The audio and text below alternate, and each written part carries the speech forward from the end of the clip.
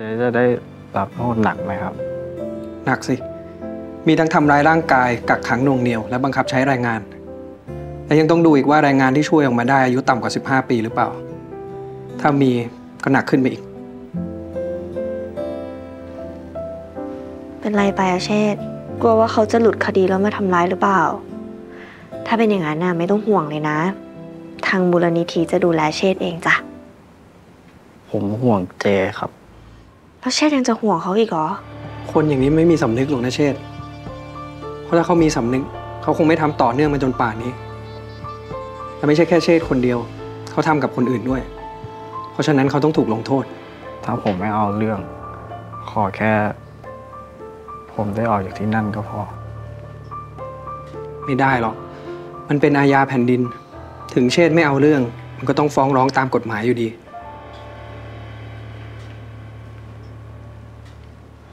ำไมเชษฐ์ถึงห่วงเขาขนาดนั้นน่ะ เพราะเจเป็นคนเดียวที่รักผม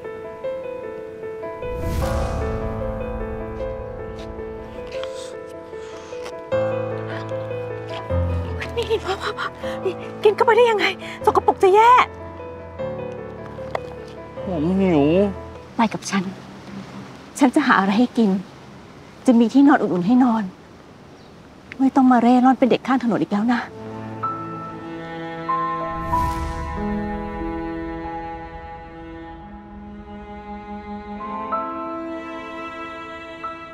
พ่อแม่ผมตายตั้งแต่ยังเด็ก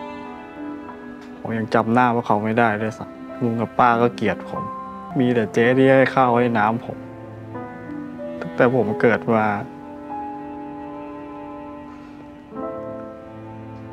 ไม่มีใครรักผมแบบนี้เลย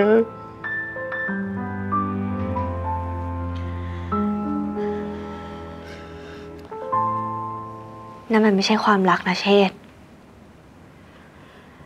แต่มันคือการทำดีเพื่อหวังผลตอบแทน เจเดนเขาเอาเชษไปเลี้ยงอะก็เพื่อจะหลอกใช้งานฟรีๆ พอไม่ถูกใจเขาก็ทำร้ายอะ คนรักกันมันต้องไม่ทำร้ายกัน ถ้าทำร้ายกันแบบเนี้ยมันไม่ใช่ความรักนะ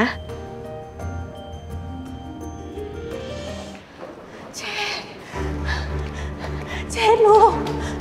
เชษเป็นยังไงบ้าง ไปหาหมอมาแล้วใช่ไหมหมอว่ายังไงบ้างลูก ดีขึ้นแล้วครับ แล้วเชษจะมาให้การกับตำรวจใช่ไหม ครับ ถ้าอย่างนั้นเนี่ย เชษไปบอกกับตำรวจนะลูกนะว่าจริง ๆ แล้ว เรื่องมันไม่มีอะไรเลย ทุกอย่างเป็นความเข้าใจผิด เจ้โดนคนหลอกให้ทางลูกนะ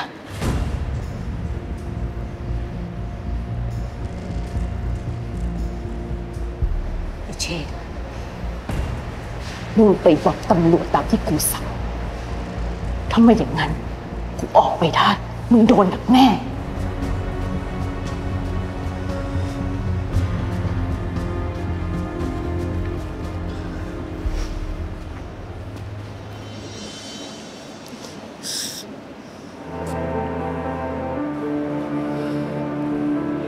ผมรักเจ๊นะครับ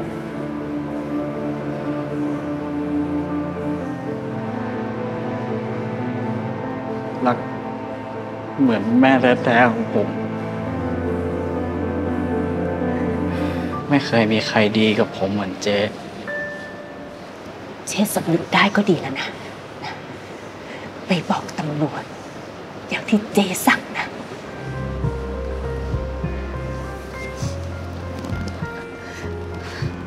จะบอกกับตำรวจ ตาความจริงทั้งหมด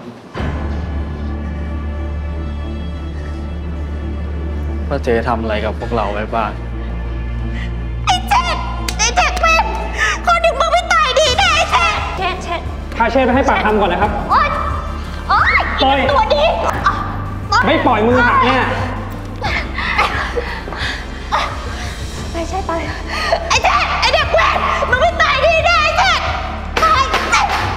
แน่แน่เบาหน่อยนี่ต้องพักนะอย่าเสียงดังไว้ออกจากคุกได้ค่อยกลางก็แล้วกัน เรามีผลตรวจร่างกายของเชษกับคำให้การของคนในบ้านที่ตรงกันหมด บอกเลยว่ายังไงก็รอดยาก